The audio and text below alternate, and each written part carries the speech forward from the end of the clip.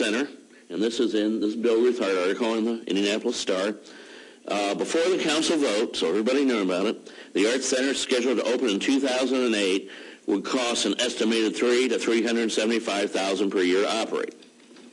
This is again, he's referring to the year of stable operations after the startup. Then on September 17th, 2005, an article in the Indianapolis Star by Leslie Rogers Barrett.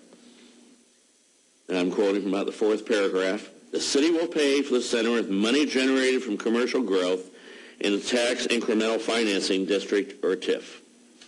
But the Performing Arts Center, which will be run by a not-for-profit board, will need money each year to operate the center.